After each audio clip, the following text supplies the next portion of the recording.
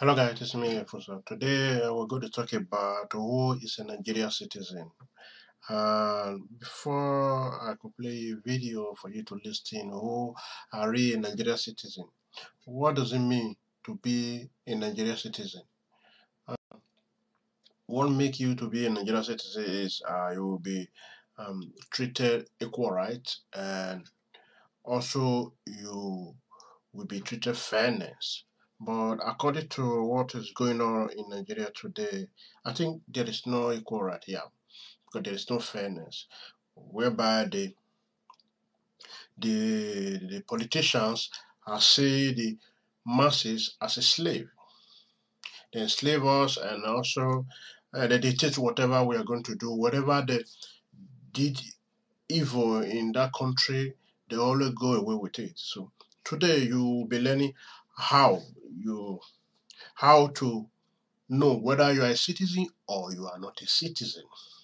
Or you are a citizen to Nigeria or you are a slave to Nigeria okay? So um before I could show you the video please subscribe to our channel give a thumbs up if you like the video. Please your opinion is very needed okay? You can um, comment below on this video and share your opinion. So if you are watching YouTube please subscribe. And if you are watching in Facebook, your comment is needed and tell us whatever you think concerning this video. So let me show you video and and see whether you are a citizen or a slave.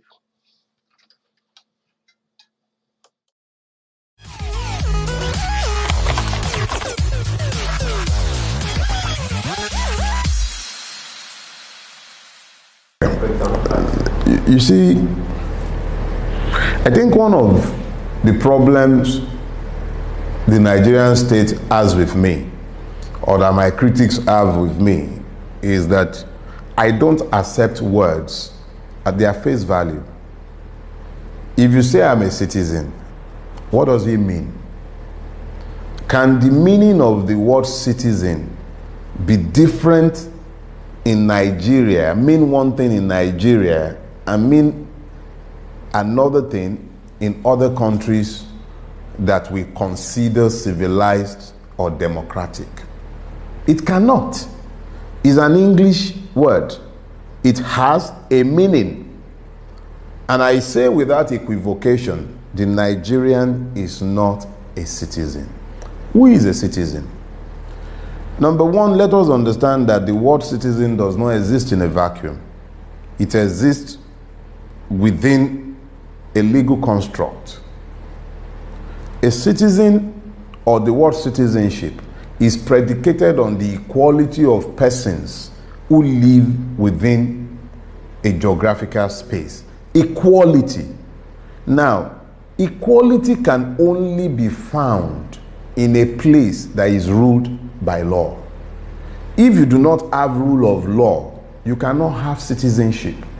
Which is why in feudal England, in the days of the English kings, before the Magna Carta and the subsequent pieces of legislation that served to establish the rights of citizens, the king was the absolute ruler, and the king's word was essentially law. The members of the aristocracy reserved the right to do as they pleased with their serfs. And it was the same in medieval Europe.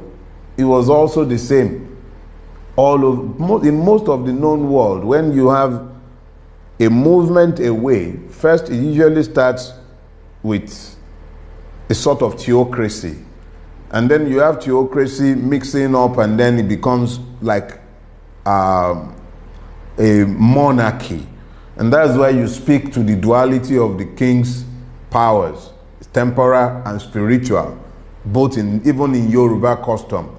But as the powers of the individual, the ruler, is curtailed, as his powers are curtailed, and powers are ceded to the citizens, his rights are recognized, the serfs emerged and became citizens.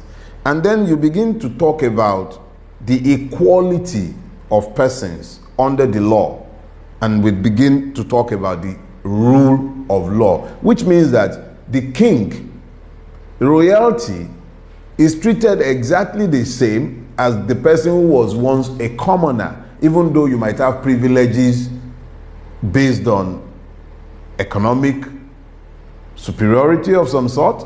But when it came to their treatment before the law, they're treated exactly the same. However, when a system is not predicated on the equality of persons, it means that you have variable membership of a society, such as you had in South Africa. The South African was still a South African, but there was an apartheid policy which treated human beings completely separate. But it is easy to spot in South Africa because you're dealing with racial division. In Nigeria, the classes are stratified. So, membership of the Nigerian state is predicated on membership of an economic or political class. So, your access to justice or injustice, the administration of impunity that governs Nigeria in place of law, has guaranteed that the people are not equal at any level, either economically or politically. So, that inequality based on the variable levels of membership has assured that there is no citizenship. So, if a member of the oppressive class has a grouse and he takes it before the judiciary, they find dates miraculously to hear those cases rapidly. In fact, the bigger the two combatants, the quicker the matter runs through the court system. But a Nigerian citizen is probably still in a prison somewhere, as I know some are in Oyo State, and I know some were in Lagos State, at least as recently as last month, because they were arrested in the wake of EndSARS. So 14 months after they were arrested, none of some of them had never seen a courtroom. And you call them citizens. So I'm saying very clearly that it is not enough to label a person a citizen. The fact of his citizenship must be demonstrable. It inures in the equality of persons and the rule of law. None of those can be found in Nigeria. So, how do you speak to the equality of persons or to the citizenship of the persons who live in that space? You cannot have citizenship in a place that is not ruled by law. Nigeria is ruled by impunity. It is structured to be governed by impunity. It is not rulable by law under the current governance system. It cannot be subjected to law. So you are not a citizen, and neither am I. The knowledge, though, ensures that I am not a victim because I'm constantly finding ways to ensure that I equalize and working in the knowledge of the evil that I deal with on a day to day basis by virtue of my membership of the Nigerian state makes it that much more tolerable. But self delusion has never been my thing. The Nigerian is not a citizen. And incidentally, that's why I refuse to, de- to proceed on that stupid thing they call NYSC. You want me to serve a country that does not see me as a citizen?